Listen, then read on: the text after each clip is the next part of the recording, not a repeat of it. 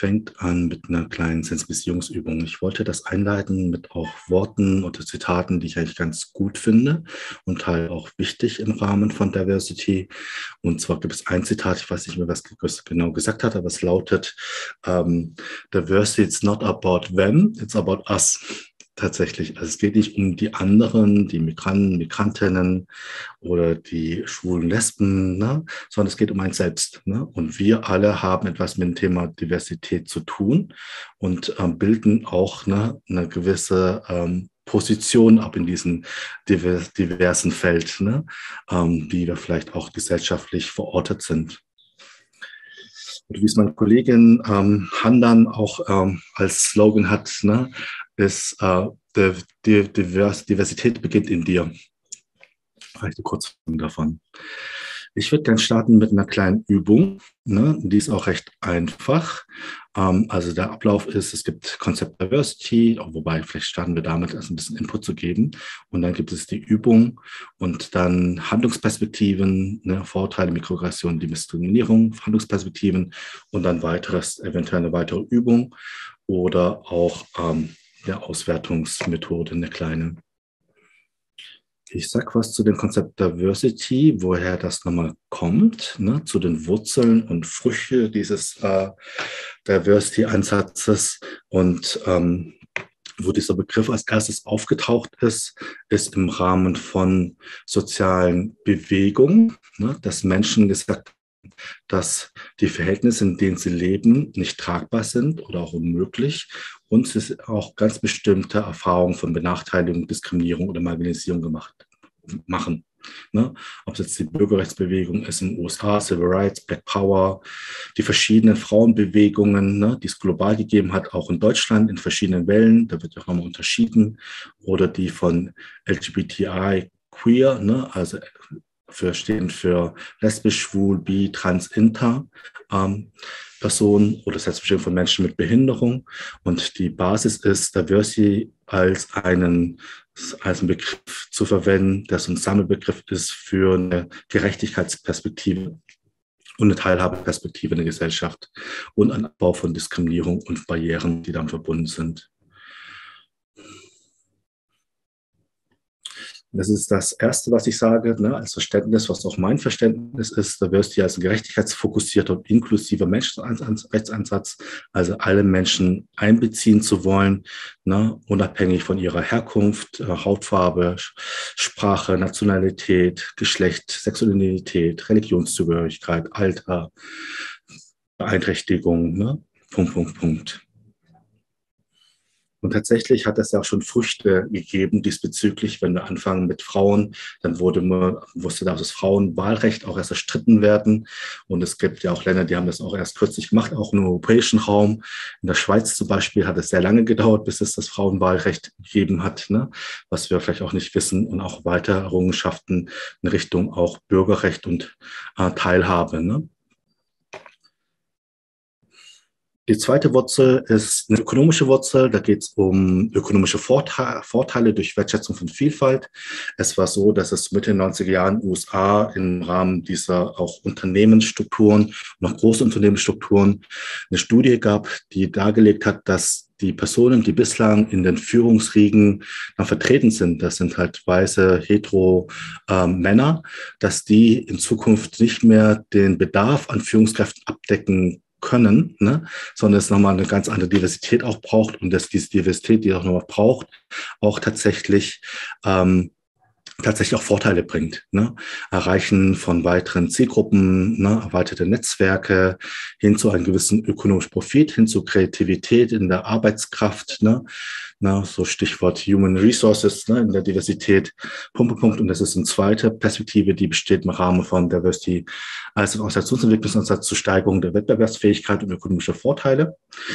Es gibt vielleicht noch ein drittes Ableger davon, ne, ähm, das eine, was verbindet, ne? also Diversity als Ansatz, der aber Richtung Teilhabe und Gerechtigkeit geht und Abbau von Diskriminierungsstrukturen. In dem Bereich bin ich auch unterwegs. Das nennt sich dann diversitätsorientierte Organisationsentwicklung. Dazu gibt es mittlerweile auch einige ganz ähm, gute äh, Broschüren und auch ähm, Texte, die dazu geschrieben worden sind, die sagen, dass eine Einrichtung nochmal viel mehr ihren inneren Reichtum entfalten kann und auch einen Beitrag macht zu Strukturen, wenn es sich Richtung Diversität auf den Weg macht. Ziel von Diversity, Reflexion, Wahrnehmung, Wertschätzung, Anerkennung von menschlicher Vielfältigkeit, wie zum Beispiel Alter, Herkunft, Geschlecht, Behinderung, Sexualität, Religion, vielleicht auch Familienstand, ne, vielleicht auch soziale Herkunft oder Schicht, ne, Schrägstrich vielleicht auch Klasse in den unterschiedlichen Arbeits- und Lebenskontexten.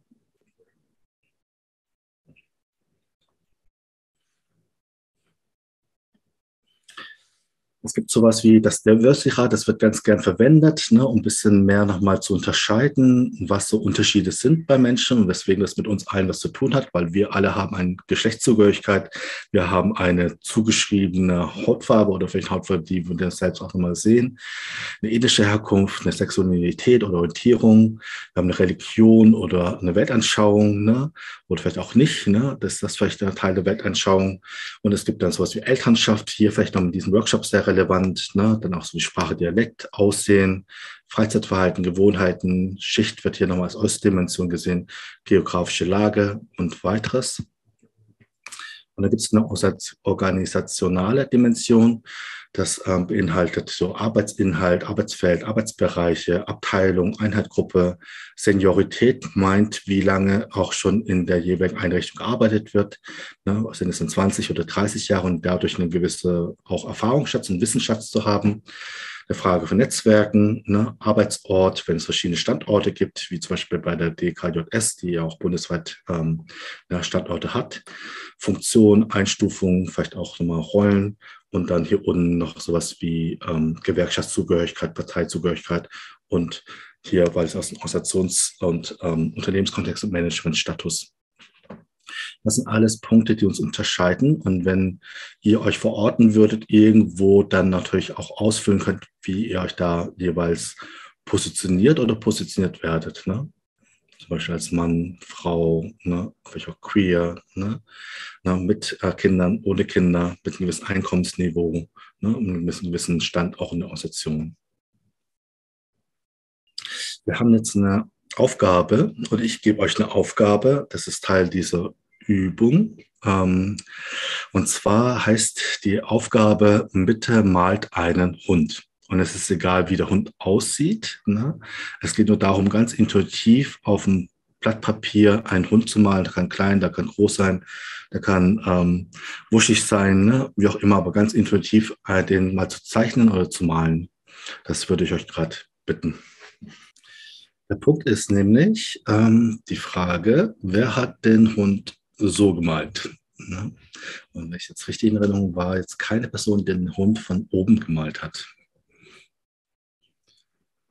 Wer hat den Hund von unten gemalt? Ne? Ähm, also mit den Pfoten auch zu sehen. Ne? Auch keine von euch. Ne?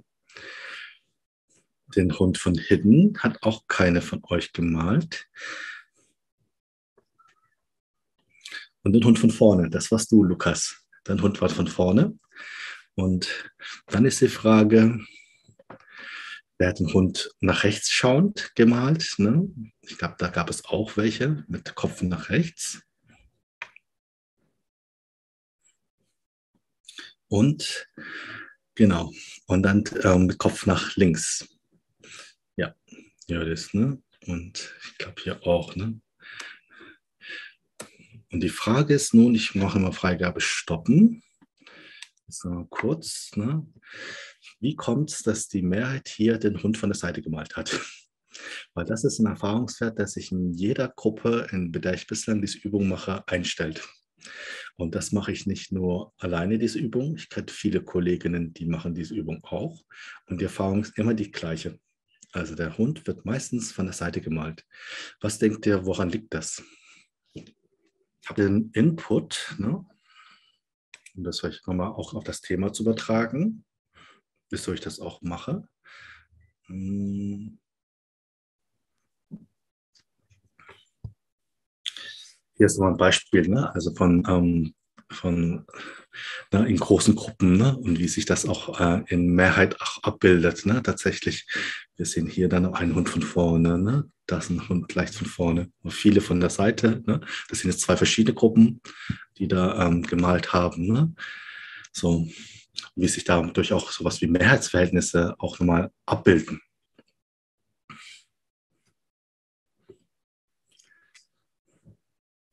Und das ist so, dass vielleicht nochmal sinnbildlich, ne? wir reden über das Gleiche, einen Hund und sehen aber ganz unterschiedlich und haben noch ganz unterschiedliche ähm, ja, Darstellung davon. Ne? Also hier das, die, die sechs oder die, die neun, ne? abhängig davon, wie es halt äh, gedreht ist und aus welcher Perspektive das auch nochmal sich ähm, darstellt.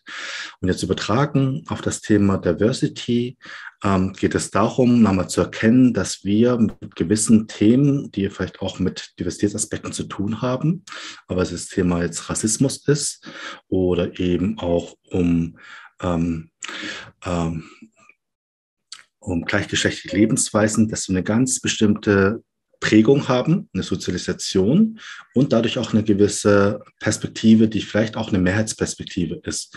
Und dass wir dadurch aber gewisse andere Perspektiven nicht kennen oder auch äh, gut genug kennen oder vielleicht auch Projektionen diesbezüglich haben. Und eine Person hat es total gut zusammengefasst, nämlich in Form von ähm, der Gefahr einer einzigen Geschichte. Und zwar, wenn wir es übertragen auf den Hund, wäre die Gefahr einer einzigen Geschichte, was wäre, wenn wir immer den Hund nur von der Seite malen würden? Ne? Und Hunde sind immer nur von der Seite zu sehen. Ne? Und was wäre damit verbunden an dem, was wir an Projektionen vielleicht auch Vorteile hätten? Und ähm, und der Gefahr, die sich dadurch ergibt, dass wir nicht andere Perspektiven kennenlernen und vielleicht auch da total falsch liegen. Ich würde gerne diesen TED Talk, der ist ähm, total super, zum Teil jetzt mal einspielen. Der geht insgesamt 20 Minuten und ich würde 10 Minuten einspielen und dann auf der Basis mal mit euch da ins Gespräch gehen wollen und dann noch mal weiteres erläutern Richtung Mikroaggression und Diskriminierung und Vorurteile ähm, als Input und ähm, müsste hierzu einmal nochmal stoppen und jetzt hier das anders aufmachen, nämlich den TED Talk. Kennt ihr irgendwen schon? Ja, dann ist das super dann passt es voll gut. Das ist manchmal in Seminaren, die ich gebe, auch ein Highlight. Ne? Deswegen, ich schätze den unglaublich, andere auch. Ne? Und die Person, die jetzt spricht, das ist äh, Chimamanda Adichie, das ist eine nigerianische Autorin. Die hat auch viele Bücher, die ins Deutsche übersetzt worden sind, als auch in vielen anderen Büchern. Und sie spricht über The Danger of a Single Story, ist auf Englisch, aber mit deutschen Untertiteln. Und es geht jetzt gleich los.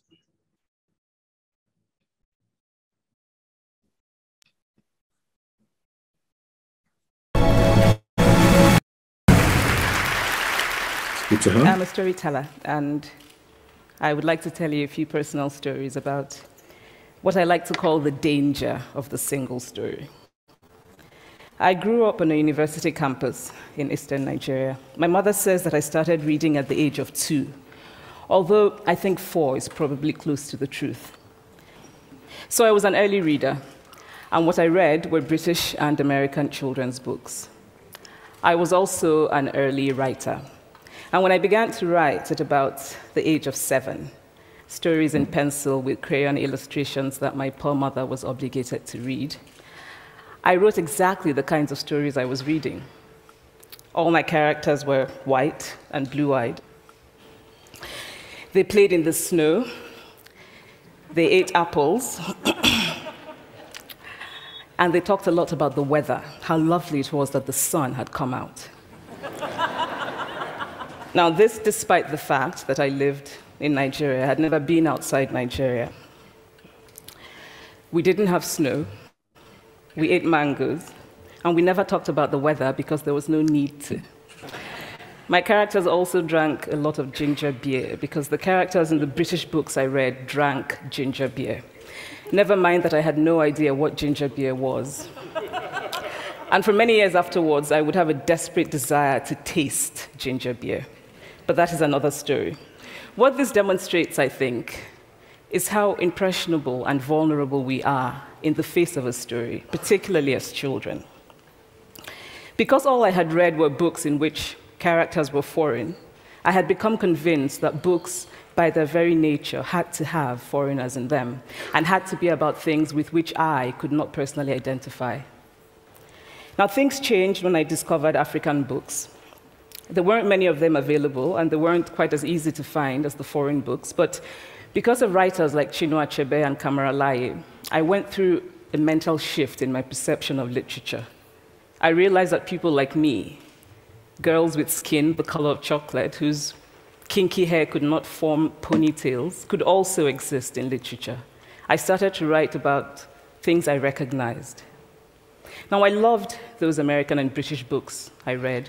They stirred my imagination, they opened up new worlds for me. But the unintended consequence was that I did not know that people like me could exist in literature.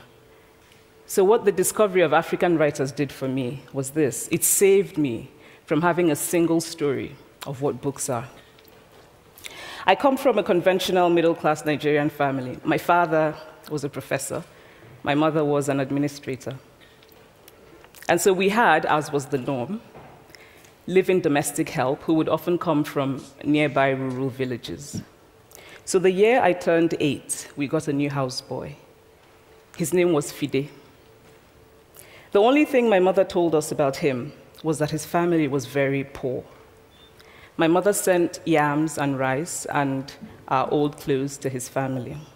And when I didn't finish my dinner, my mother would say, Finish your food. Don't you know people like Fide's family have nothing? So I felt enormous pity for Fide's family. Then one Saturday, we went to his village to visit.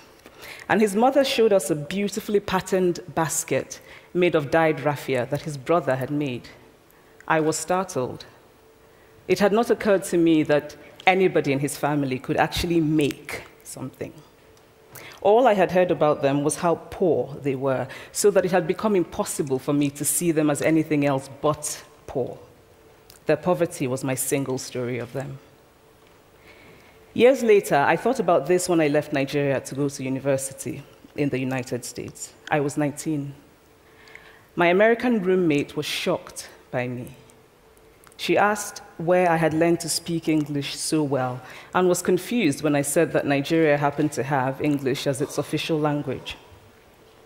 She asked if she could listen to what she called my tribal music and was consequently very disappointed when I produced my tape of Mariah Carey. she assumed that I did not know how to use a stove. What struck me was this she had felt sorry for me even before she saw me. Her default position toward me as an African was a kind of patronizing, well meaning pity. My roommate had a single story of Africa, a single story of catastrophe. In this single story, there was no possibility of Africans being similar to her in any way, no possibility of feelings more complex than pity, no possibility of a connection as human equals. I must say that before I went to the US, I didn't consciously identify as African. But in the US, whenever Africa came up, people turned to me, never mind that I knew nothing about places like Namibia. But I did come to embrace this new identity, and in many ways, I think of myself now as African although I still get quite irritable when Africa is referred to as a country, the most recent example being my otherwise wonderful flight from Lagos two days ago, in which um, there was an announcement on the Virgin flight about their charity walk in India, Africa, and other countries. So, after I had spent some years in the US as an African, I began to understand my roommate's response to me. If I had not grown up in Nigeria, and if all I knew about Africa were from popular images, I too would think that Africa was a place of beautiful landscapes, beautiful animals, and incomprehensible people fighting senseless wars, dying of poverty and AIDS, unable to speak for themselves, and waiting to be saved by a kind white foreigner. I would see Africans in the same way that I, as a child, had seen Fide's family. This single story of Africa ultimately comes, I think, from Western literature.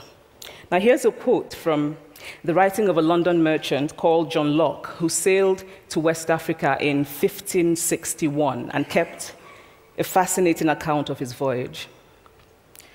After referring to the black Africans as beasts who have no houses, he writes, They are also people without heads, having their mouths and eyes in their breasts. Now, I've laughed every time I've read this, and one must admire the imagination of John Locke. But what is important about his writing is that it represents the beginning of a tradition of telling African stories in the West, a tradition of sub Saharan Africa as a place of negatives, of difference, of darkness, of people who, in the words of the wonderful poet Rudyard Kipling, are half devil, half child. And so I began to realize that my American roommate must have, throughout her life, seen and heard different versions of this single story. As had a professor who once told me that my novel was not authentically African. Now, I was quite willing to contend that there were a number of things wrong with the novel, that it had failed in a number of places, but I had not quite imagined that it had failed at achieving something called African authenticity. In fact, I did not know what African authenticity was. The professor told me that my characters were too much like him, an educated and middle class man. My characters drove cars, they were not starving. Therefore, they were not authentically African. But I must quickly add that I too am just as guilty on the question of the single story. A few years ago, I visited Mexico from the US. The political climate in the US at the time was tense, and there were debates going on about immigration. And, as often happens in America, immigration became synonymous with Mexicans. There were endless stories of Mexicans as people who were fleecing the healthcare system, sneaking across the border, being arrested at the border, that sort of thing. I remember walking around on my first day in Guadalajara, watching the people going to work, rolling up to tortillas in the marketplace, smoking, laughing. I remember first feeling slight surprise, and then I was overwhelmed with shame. I realized that I had been so immersed in the media coverage of Mexicans that they had become one thing in my mind the abject immigrant. I had bought into the single story of Mexicans, and I could not have been more ashamed of myself. So, that is how to create a single story show a people as one thing, as only one thing, over and over again, and that is what they become. It is impossible to talk about the single story without talking about power. There is a word, an Igbo word, that I think about whenever I think about the power structures of the world, and it is nkali. It's a noun that loosely translates to to be greater than another. Like our economic and political worlds, stories too are defined by the principle of nkali. How they are told, who tells them, when they are told, how many stories are told, are really dependent on power. Power is the ability not just to tell the story of another person, but to make it the definitive story of that person. The Palestinian poet Murid Baguti writes that if you want to dispossess a people, the simplest way to do it is to tell their story and to start with secondly. Start the story with the arrows of the Native Americans and not with the arrival of the British, and you have an entirely different story. Start the story with the failure of the African state and not with the colonial creation of the African state, and you have an entirely different story. I recently spoke at a university where a student.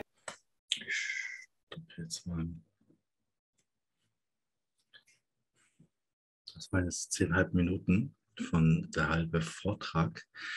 Und der Link ist auf jeden Fall in der PowerPoint auch enthalten und könnt das auch nochmal gerne ähm, an anderer Stelle auch zu Ende schauen. Es empfiehlt sich, das ähm, auch weiterzuschauen.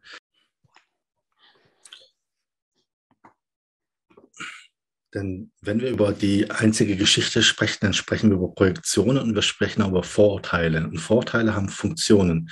Wir alle haben Vorurteile und neigen dazu, aufgrund von dem, was wir gelernt haben, was wir sehen, was wir immer wieder auch eingetrichtert bekommen, ganz bestimmte Vorurteile über andere und vielleicht Migrationsantere, Geflüchtete, über Schwulen, lesbe, queere Menschen ne, auch nochmal zu hegen. Und das hat einen gewissen Sinnhaftigkeit. Ne? Und es geht einerseits um Reduktion von Unsicherheit, dass es darum geht, eine Orientierung zu haben, Klarheit angesichts von Komplexität. Die Wahrheit ist immer komplexer und Ausblenden von Widersprüchen, Sachen, die sich widersprechen, auch im Rahmen von Vorurteilen. Da gab es auch nur so diesen Blick, dass ein, ähm, ja, wobei, sage ich vielleicht an anderer Stelle, es geht auch um Herstellung klarer Zugehörigkeit, die Definition der anderen und des Selbst, ne? von ihr seid die und wir sind die, ne? und ähm, Vereinheitlichung des eigenen, soziale Eintrittskarte, also irgendwo dazu zu gehören und sich identifizieren zu können und Teil einer Gruppe zu sein. Sagen, wir sind die Deutschen. Ne? Und in dem Satz meistens gewisse andere Deutsche, Migrationsdeutsche, ne? asiatisch-deutsche, schwarze Deutsche aber nicht gemeint sind, was sich auch historisch gezeigt hat anhand von dem Mauerfall, ne? wo das dann nochmal auf gelebt worden ist. Und mittlerweile sich das aber auch nochmal verschiebt, ne? auch nicht zuletzt durch die WM im Jahr 2006 in Deutschland, wo nochmal ein ganz anderes Anerkennen ist gewesen ist von Migrationsgesellschaften, dadurch, dass die Nationalmannschaft, die Herren-Nationalmannschaft diverser gewesen ist, ne? mit verschiedenen Personen, ne? ob es angefangen mit Podolski ne? oder Klose, ne? die so Polish-Bezüge haben zu anderen Spielern. Ne? Ähm, das nochmal ganz anders aufgebrochen worden ist, dieses Wir Deutsche. Ne? Äh, halt eines positiven Selbstbilds, eigene Aufwertung, die Abwertung anderer, ne, sich selbst aufwerten, ne, soziale ähm, Konstruktion ne, und Mechanismus und äh, Verschieben von Aggression auf Fremdgruppen, zu sagen, ihr seid schuld ne, und ihr, ähm, wegen euch haben wir jetzt keine Arbeitsplätze, ein Gefühl von Stärke. Und es geht auch, das ist, wie jetzt auch Chimamanda Adichie geändert hat, es geht auch um Machtverhältnisse, ein Erhalt ungleicher Machtverhältnisse zwischen Mehrheiten und Minderheiten. Und Vorurteile mit Macht ist die kürzeste Formel, die ich kenne, bezogen auf Rassismus. Also Prejudice und Power ist gleich Rassismus. Ne? Also wenn du ein gewisses Vorurteil, die Macht hast, äh, ein Vorurteil, ähm, dass alle dieses Vorurteil lernen, ne? weil du es immer wieder in Schulbüchern äh, erwähnst, weil wenn du einen Fernseher aufschlägst, dass auch nochmal sich zeigt, wie nochmal gewisse Rassismuserfahrene Personen dargestellt werden, nur in ganz stereotypen Rollen, dann ähm, ist das auch eine Form von Herrschaftsverhältnis und auch von ungleichen ne, ähm, Machtverhältnissen der Legitimation. Und das lässt sich auch auf andere Diskriminierungsformen auch nochmal ähm, noch auch transferieren, übersetzen.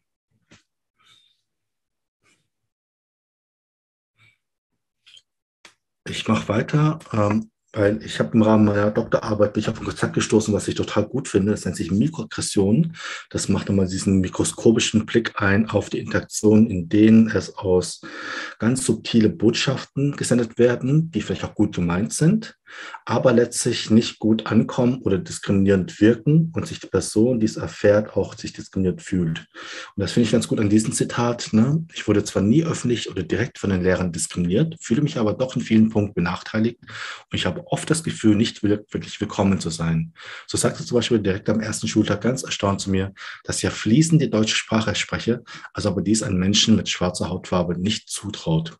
Eine Gymnasiastin aus Diskriminierungsbüro Köln, Broschüre Herkunft prägt Bildungschancen, so heißt die Broschüre, was bis heute auch gültig ist. Und ähm, diese Mikroaggressionen, ähm, oh, wie hat sich das jetzt weggeschaltet? Oh, mal zurück. Weitere Beispiele, also vielleicht nur bezogen auf so ähm, Einkommen und auch Fragen von Armut. Ne? Kann auch sowas sein wie, wo warst du? Wo waren Sie im Urlaub im Sommer? Ne? Und die, der Blick von, dass alle sich Urlaub leisten können und vielleicht am bestenfalls auch wegfliegen, ne? aber das auf viele Familien gar nicht zutrifft, sondern ihren Urlaub dann im, in Berlin, was das Prinzenbad im Freibad verbringen ne? oder jetzt in Lokalen, ne? auch dort, wo sie wohnen. Ne? hinbezogen, auch auf äh, verschiedene Geschlechtsidentitäten. Bist du ein Junge oder ein Mädchen? Ne, was dann auch eine Form von Mikroaggression ist. Im Kontext von Rassismus ist die Frage, wo kommst du her? Und dann die Antwort ist, ich komme aus Kreuzberg. Und aber die Person sagt, nein, ich meine jetzt ursprünglich und dann ursprünglich, nee, Kreuzberg, mein Vater ist auch hier aufgewachsen. Dann aber ganz ursprünglich dein Großvater und dann wird gebohrt und gebohrt.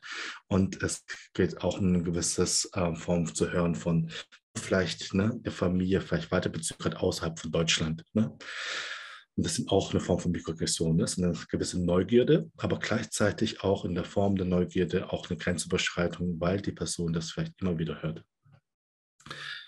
Oder auch sowas wie, dafür bist du noch zu jung, das kannst du, darfst du nicht. Ne? Das geht in Richtung auch Adultismus, an Machtverhältnis zwischen Erwachsenen und Kindern. Ne?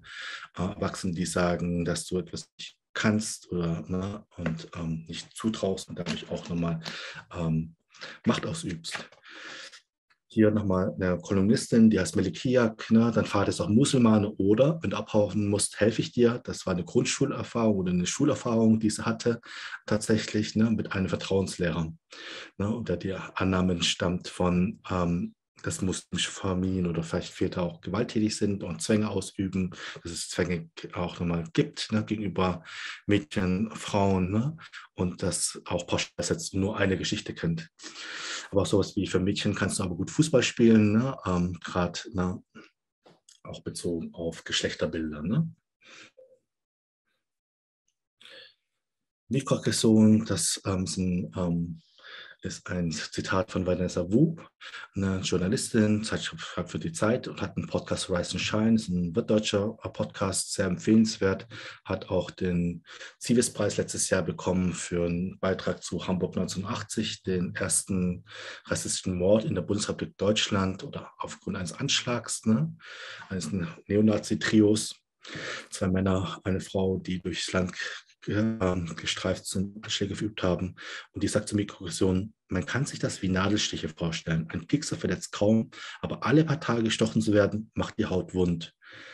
Es geht um die kontinuierliche und systematische Erfahrung von solchen Mikroaggressionen, die eine Wirkung haben auf die betreffenden Personen und dass Personen sich, wie jetzt die nochmal formuliert, nicht willkommen fühlen oder sich ausgegrenzt fühlen. Ne? Und schon, obwohl es nicht so ähm, ne, so vielleicht negativ und Schimpfwörter sind oder Beleidigung, sich dennoch eine Form von Diskriminierung einstellt. Als Definition, Mikroaggressionen sind verletzende, herabwürdige, nonverbale oder verbale Botschaften, die marginalisierte Gruppen im Berufsalltag erfahren. Ne? Bildlich betrachtet sind Mikroaggressionen die wiederholt kleinen, großen, subtilen, offensichtlich erlebten Stiche und Seitenhiebe, welche sie erleben. Die Verletzten beeinträchtigen somit Menschen im Alltag. Das Konzept geht maßgeblich auf die Arbeit des US-Psychologen Derek Ring Su zurück. Ne? Ähm, der hat da ähm, bezogen auf Geschlecht ne, und auf Sexualität und auf Rassismus geforscht und auch die Wirkung erforscht, die darin liegen, dass Personen, also gerade im Kontext Schule zum Beispiel die Lernmotivation verlieren, dass sie das Vertrauen an ähm, pädagogisch verantwort Verantwortliche nochmal verlieren, dass sie eher ein Misstrauen nochmal ausbilden, dass sie auch müde werden, dass sie erschöpft sind, sich immer wieder solche Erfahrungen zu machen und sich eher rausziehen, als eben drinbleiben, ob innerlich, auch äußerlich mit dem Körper sich dann wegbegeben. Ich habe im Rahmen meiner Doktorarbeit auch Jugendliche auf Color, also rassismuserfahrene Jugendliche befragt und einer hat dann in der Phase, in der er das sehr massiv erlebt hat, hat sich ähm, nochmal rausgezogen in der Schule, hat durch viel Abstinenz auch geglänzt, ne? weil es nicht ausgehalten hat.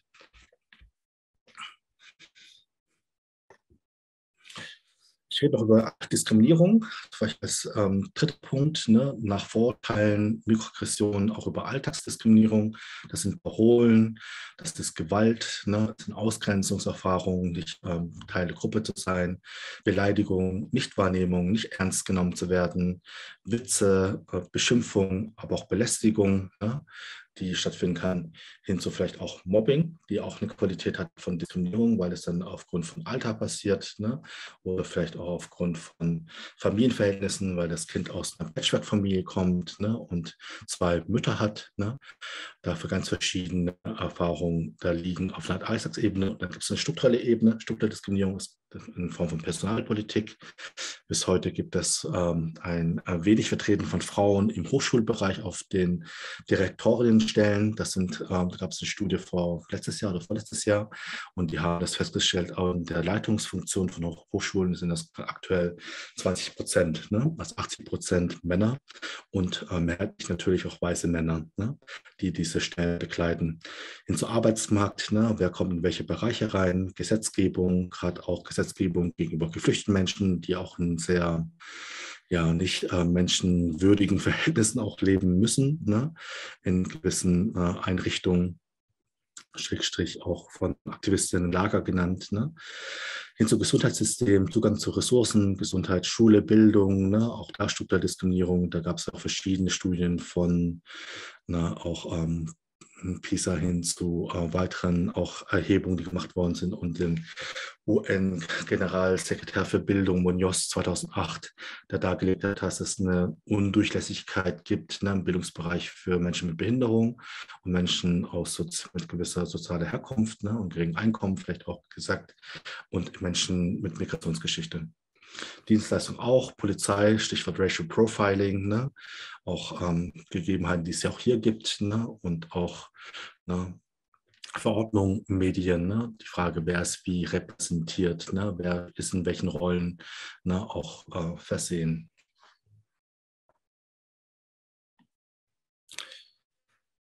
Ähm, wichtig nochmal fürs Wissen, es gibt das AGG, das Allgemeine Gleichgesetz, das eben nochmal Diskriminierung ähm, verbietet ne, im privatrechtlichen Bereich. Und zwar äh, bezieht sich dieses Gesetz auf ethnische Herkunft, Geschlecht, Religion, Weltanschauung, Behinderung, Alter, Sexualität und hat verschiedene Geltungsbereiche. Einmal den Arbeitsbereich, also wenn ihr äh, die Erfahrung macht, ne, aufgrund einer dieser Merkmale, so wird es genannt, oder Dimensionen diskriminiert zu werden, könnt ihr auf der Grundlage des AGGs klagen. Ähm, und es gilt aber auch für den Kontext Schule, wobei es da nochmal landesspezifische Regelungen gibt. Das ist das Bundesland Berlin herausragend, weil es jetzt ein Antidiskriminierungsgesetz gibt, das eben auch für die Schule geregelt ist. Und das ist in anderen Bundesländern noch nicht so. Und es gilt auch für Dienstleistungen, also die Erfahrung im Supermarkt ne, oder beim Zugang zu Versicherungsabschließen oder weiteres oder auch den Wohnungsmarkt.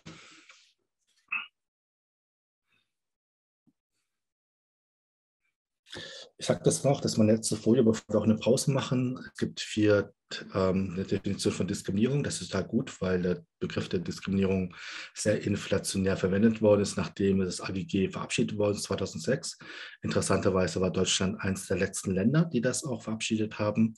Und ähm, und umgesetzt haben. Und es gibt dann Unterscheidung zwischen unmittelbarer Diskriminierung, wenn eine Person wegen eines der in Artikel 1 genannten Gründe in einer vergleichbaren Situation eine weniger günstige Behandlung erfährt, als eine andere Person erfährt, erfahren hat oder erfahren würde. Das wäre zum Beispiel zwei Personen bewerben sich auf eine Wohnung und die eine wird nicht genommen aufgrund ihres Alters, weil sie schon über ähm, ja, 70 Jahre alt ist ne, und dann die andere aufgrund von jüngeren Alter genommen wird. Das äh, wäre eine direkte Form von Diskriminierung oder es, ne, was ich auch gut kenne, ne, auch in meinen Studienzeiten, meine erste Wohnungssuche anzurufen und dann Auskunft zu bekommen. Wir nehmen keine Personen mit, ähm, keine Ausländer oder mit ausländischen Namen, ne, was dann mit Rassismus zu tun hat. Mittelbare Diskriminierung, wenn im Anschein nach neutrale Vorschriften, Kriterien und Verfahren Personen mit einem bestimmten Merkmal gegenüber anderen Personen besonderer Weise benachteiligen können. Das ist ein bisschen trickiger. Ne? Das ist auch eine Form von indirekter Diskriminierung und heißt auch institutionelle Diskriminierung. Mein Beispiel, was ich da gerne nenne, ist zum Beispiel, ähm, wenn in einer Einrichtung oder ein Unternehmen ähm, diejenigen, die auf Teilzeit arbeiten, keine Gratifikation bekommen, wie Weihnachtsgeld oder vielleicht mehr Urlaubstage oder sonstige Sachen, die nochmal ähm, gut sind. Ähm, und aber sich dann herausstellt, dass diejenigen, die auf Teilzeit arbeiten, aufgrund von Vereinbarkeit von Beruf und Familie mehrheitlich oder fast ausschließlich Frauen sind, dann ist das eine scheinbar neutrale Regelung, die aber letztlich sich diskriminierend auswirkt für Frauen. Und das wäre dann eine Form von mittelbarer Diskriminierung. Belästigung, Beleidigung, Niedrigung, Anfeindung und auch sexuelle Belästigung, die nach AGG auch angegangen werden kann und Anweisung zur Diskriminierung. Anweisung zur Diskriminierung ist das, äh, die Diskothek, in der der Türsteher äh, gewisse Personen nicht reinlässt, ne? männliche, arabische, türkischstämmige Jugendliche, was, glaube ich, äh, häufig passiert, gerade in, in Großstädten. Und ähm, diese Ort, diese Anweisung aber von den Geschäftsführerinnen kommt und die Geschäftsführerin wäre auch haftbar für die Diskriminierung, nicht nur der Türsteher oder das Türsteher in Personal. Das hier ist ein Bild auch aus diesem Buch, Buch Machtworte, was nochmal so Normalitäten zeigt. Und das nennt sich dann, die haben so A bis Z verschiedene Abbildungen. Das nennt sich trauriges Toilettentabu, weil die Person, die im Rollstuhl ist, eine Transperson ne, und vielleicht auch äh, ein Transmann ne, im Rollstuhl sich fragt, wohin gehe ich jetzt ne, tatsächlich? Ne? In die sogenannte Behindertentoilette, in die Männertoilette, in die ähm, Frauentoilette, vielleicht auch. Ne? und das nicht so immer so eindeutig ist, weil verschiedene Zugehörigkeiten haben ne? und ein, anderen, ein Teil dann mal verloren geht oder nicht berücksichtigt wird. Und dementsprechend gibt es auch sowas wie Mehrfachdiskriminierung, das habe ich vorhin auch nicht gezeigt. Und zwar, wenn wir verschiedene ähm, auch Positionierungen verbinden. Ne? Wir haben nicht nur eine Herkunft, eine Hautfarbe, Körper mit bestimmten Befähigungen, Beeinträchtigung, Identität, ähm, sondern auch viel mehr als das. Ne? Und es wird stellen. Ne? Der Begriff im Wissenschaftlichen als Intersektionalität ist ein bisschen sperrig. Ähm, wir können auch von Mehrfachzugehörigkeit und Mehrfachdiskriminierung als eine Form von Diskriminierung sprechen.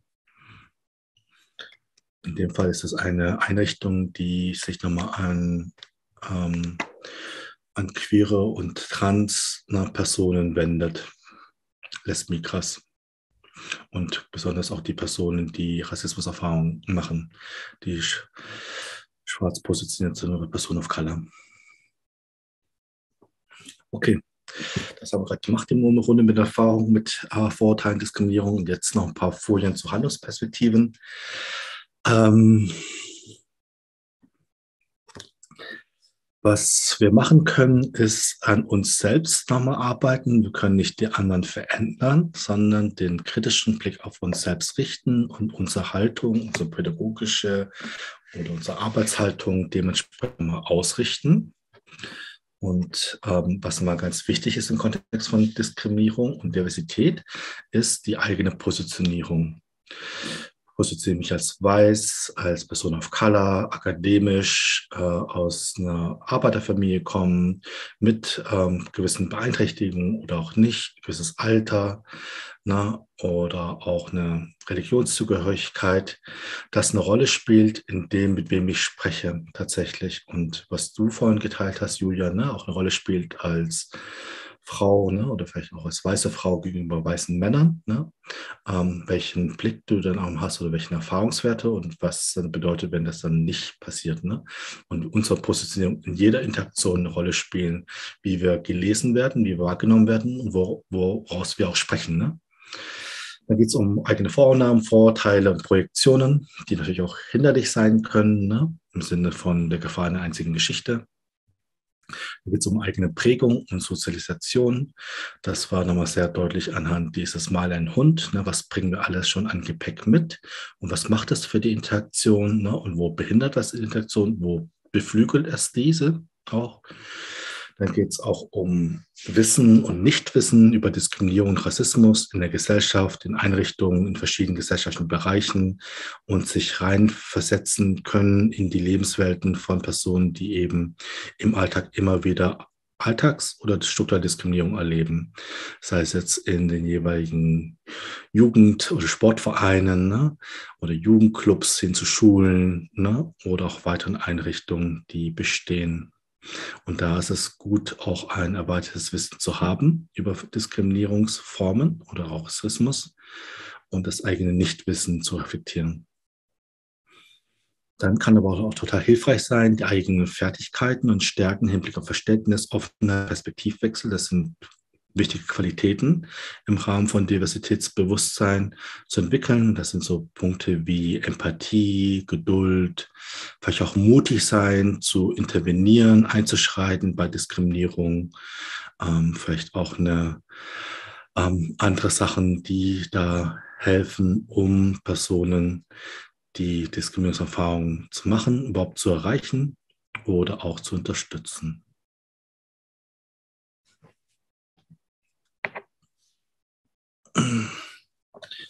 Das ist ein sehr berühmtes Zitat von Pat Parker, ähm, einer afrodeutschen ähm, Lyrikerin.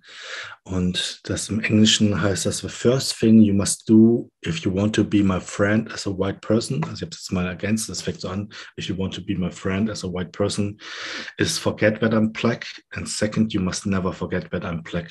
Im Deutschen übersetzt das erste, was du tun musst, vergessen, dass ich schwarz bin. Das Zweite, was du tun musst, ist niemals vergessen, dass ich schwarz bin.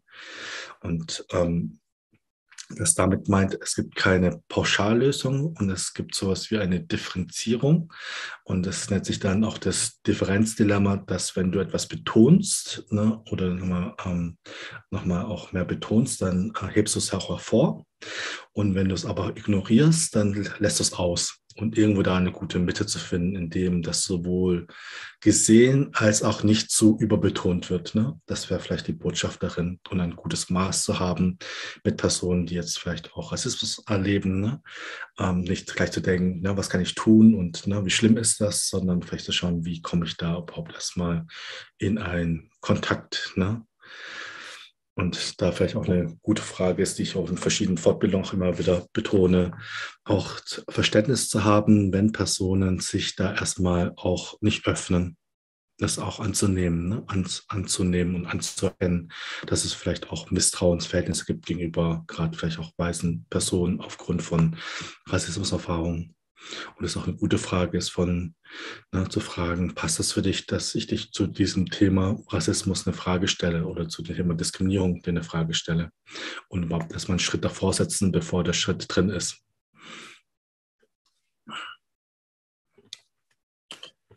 Für Einrichtungen ähm, ist die Frage, welche strukturellen Barrieren gibt es und wie können sie abgebaut werden. Und Barrieren kommt ja aus dieser Inklusionsperspektive. Und Inklusionsperspektive meint, dass nicht die Menschen, ähm, das ist so auch in der UN-Konvention für Menschenbehinderung festgehalten. Und das ist auch total revolutionär, würde ich auch sagen, ne? oder so total wichtig, dass Menschen nicht behindert sind, sondern behindert werden durch gesellschaftliche Einrichtungen, Strukturen, dadurch, dass es dann eben für Gehörlose keine GebärdendolmetscherInnen gibt bei Veranstaltungen, dass es für Rollstuhlfahrerinnen ne, nicht die Rampe gibt, ne, ähm, im gewissen öffentlichen Verkehr hin zu vielleicht auch eine ähm, Übersetzung in, in Herkunftssprachen, ne, dass auch das sind Barrieren, die bestehen oder auch Verständnis für Lebenssituationen, die von Diskriminierung und von Marginalisierung geprägt sind. Und die Frage ist, wie können diese abgebaut werden? Wie kann eine Einrichtung ne, und auch Vereine ne, oder auch ähm, weitere Einrichtungen diese Barrieren verringern? Das ist eine ganz entscheidende Frage auf einer Handlungsebene. Ich beobachte es mehr und mehr, dass ähm, hier ähm, immer mehr Veranstaltungen auch gleichzeitig mitdenken, dass ähm, auch dann Dolmetscherin gibt ne, für Gehörlose, also Gebärdensprache angeboten wird tatsächlich und da auch gerade Entwicklungen sind, ähm, barrierearmer zu agieren. Nicht in der Hinsicht, sondern auch in anderen Dimensionen. Auch gerade mit Elternarbeit ne, kenne ich das auch total gut, dass viele, also auch gerade in Kitas, ne, machen das auch gehäuft, ne, auch solche Briefe auch in verschiedenen Sprachen nochmal übersetzen und dann auch Veranstaltungen, auch ähm, Dolmetscherinnen in jeweiligen Sprachen, die vielleicht auch mehr vertreten sind, ähm, auch vertreten sind simultan dolmetschen. Das baut vieles ab. Hin zu guten Fragen stellen. Nochmal ein Beispiel für Barrieren geflüchtete Menschen, um das vielleicht mal aufzumachen. Ähm, mit welcher schwierigen, teilweise auch prekären Situation auch Geflüchtete auch nochmal erleben im Ankommensprozess in Deutschland. Ich fange mal oben rechts an. Ne? Unsicherheit über das Schicksal von Verwandten und fremden Freunden in der Heimat, Entwertung der schulischen beruflichen Aus Ausbildung, nicht Anerkennung der Abschlüsse, Angst vor Rückführung, Angst vor rassistischen Übergriffen, Diskriminierung im Alltag, Einkauf, Wohnungssuche, kein Wahlrecht, kein Recht auf politische Beteiligung. Ähm, Verlust der alten Beziehung, sozialen, sozialen Bindung, weiter politische Verfolgung möglicherweise, auch in den jeweiligen Ankommensländern, keine eigenen finanziellen Mittel, Isolation, Spannung in den Sammellagern, Sprachschwierigkeiten, klimatische und kulturelle Eingewöhnungsprobleme und unsichere langwierige Asylanerkennungsverfahren, die alle eine Rolle spielen für wo sie sich auch immer bewegen und wo sie teilhaben wollen in der Gesellschaft. Meistens erstmal Wohnungsmarkt, Arbeitsmarkt, ne? Schule,